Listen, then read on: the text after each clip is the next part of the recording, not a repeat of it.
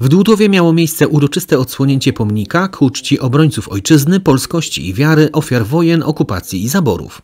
Jesteśmy w trakcie wyjątkowych, bo aż czterodniowych obchodów e, Święta Niepodległości. E, i taką praktyczną lekcję patriotyzmu, e, miłości do ojczyzny mamy dzisiaj w miejscowości Dłutowo, gdzie nie tylko oddajemy hołd i szacunek symbolom narodowym, ale także odsłaniamy wyjątkowo ważne miejsce, wyjątkowo ważne miejsce dla wszystkich mieszkańców Dłutowa, mieszkańców okolicznych miejscowości, bo miejsce, w którym będziemy z dumą i z szacunkiem wspominać naszych przodków, wspominać przodków, którym zawdzięczamy wolność i dzięki którym dziś możemy z tej wolności korzystać, budować, zbudowywać naszą, naszą gminę Lidzbark.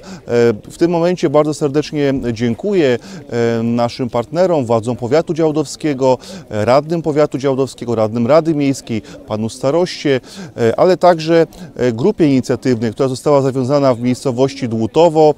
To piękne, jaka wspólnota zawiązała się w Dłutowie, to piękne, jak mieszkańcy włączyli się w przygotowania zarówno do wzniesienia tego miejsca pamięci, ale także do kolejnych wspólnych działań. Myślę, że to dopiero preludium, dopiero początek do nie tylko wspólnego świętowania, ale także do znakomitej współpracy. Planujemy oprócz tego miejsca pamięci wybudować w Dłutowie także oświetlenie, tak aby pięknie ta jedna z najpiękniejszych świątyń w powiecie działdowskim była wyeksponowana także w godzinach wieczornych i mamy także cały szereg innych planów właśnie z mieszkańcami Dłutowa i okolic. Uważamy, że trzeba pamiętać o swoich przodkach, którzy walczyli za ojczyznę, którzy cierpieli za nią, którzy kultywowali patriotyzm, tradycję, wiarę.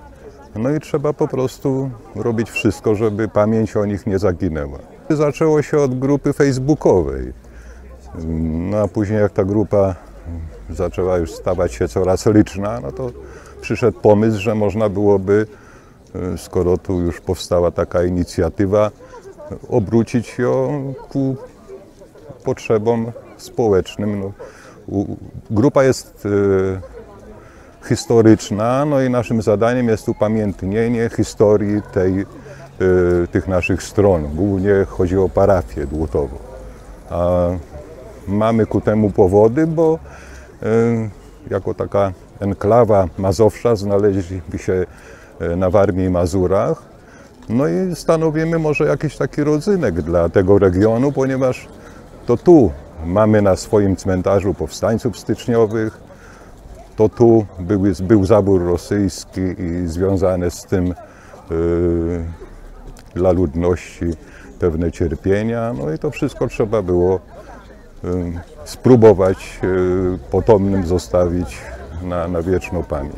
Inicjatywa przepiękna, bo inicjatywa wyszła od mieszkańców. Takim głównym inicjatorem pan Kazimierz Kowalski, mieszkaniec Dłutowa i w zasadzie rozpoczęła się praca nad projektem nad, nad dysku, i dyskusje nad tym, skąd pozyskać środki.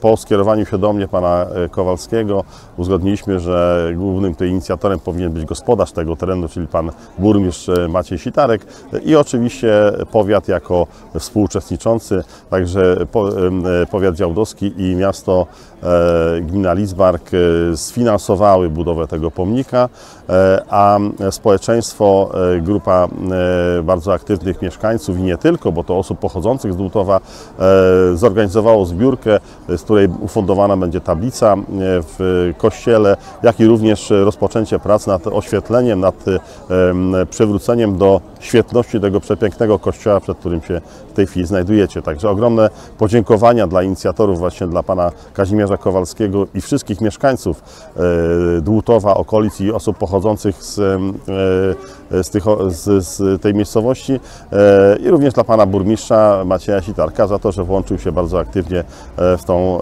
przepiękną inicjatywę, a to świadectwo pozostanie tutaj na długie lata w centralnej części miejscowości przy kościele, więc w przepięknym miejscu. Także ogromnie się cieszę, że udało się zrealizować ten projekt. Byłem za, zaskoczony mile, że entuzjastycznie do tego władze podeszły, No i w zasadzie dzięki temu można było te swoje zamierzenia zrealizować, bo sami jako nieformalna grupa byśmy mieli z tym duże problemy. Pomnik ku czci obrońcy ojczyzny, polskości i wiary, ofiar wojen, okupacji i zaborów powstał dzięki współpracy samorządów lidzbarskiego i powiatu działdowskiego oraz dzięki staraniom nieformalnej grupy inicjatywnej.